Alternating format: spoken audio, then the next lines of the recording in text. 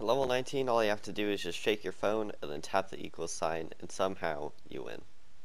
If you want more Stump Me videos, make sure to subscribe. And if you want to subscribe to my main channel or make better and longer, more funny videos, make sure to go there. The link will be in the description.